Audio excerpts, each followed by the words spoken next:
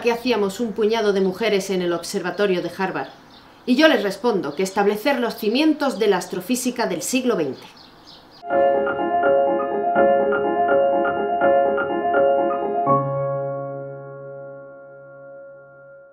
Buenas. Déjenme hablarles hoy de Antonia. Antonia Mauri. Antonia... Antonia... Bueno, digamos que no era muy popular en el observatorio. Muchos decían de ella que era una enchufada, ya que su tío era el mismísimo difunto Henry Draper, el astrónomo que daba nombre al catálogo en el que trabajábamos. Además, su manera descuidada de ser y de vestir y su comportamiento algo conflictivo no le ayudaban demasiado a integrarse. Pero en realidad Antonia era la más capacitada de todas nosotras, y no solo porque se hubiese graduado en el prestigioso Vassar College, sino porque llevaba la ciencia en las venas, ya que muchos de sus familiares habían sido y eran científicos. Quizá por eso no se sintiera del todo cómoda bajo el mando de Pickering. Continuamente discutían acerca de cómo enfocar un trabajo y de cuál era su labor en él. La propia Mauri escribía en su diario, siempre quise estudiar cálculo, pero el profesor Pickering no lo deseaba.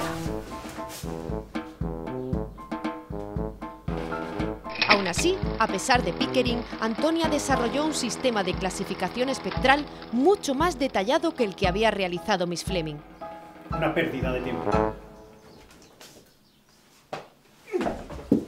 Y Antonia terminó abandonando Harvard en 1896. Pero con el tiempo, la clasificación estelar propuesta por Antonia se convirtió en la base del sistema que se utiliza hoy en día, y en 1943 la Sociedad Astronómica Americana le concedió el premio Annie Jam Cannon por desarrollar el sistema de clasificación estelar que Pickering había rechazado. Sí, el premio Annie Jam Cannon. Annie, otra compañera del harén de Pickering, pero de ella ya hablaremos. Hasta luego.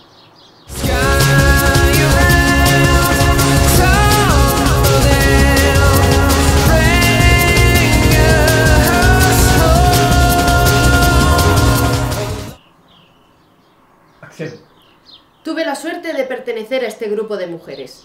Per- perdón.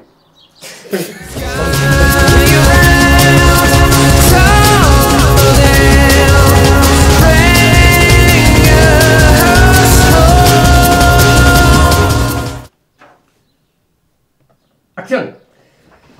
Continuamente discutían acerca de cómo enfocar un trabajo y de cuál era su labor en él. La propia Mauri escribía en su diario, siempre quise estudiar cálculo, pero el profesor... Vale, repetimos.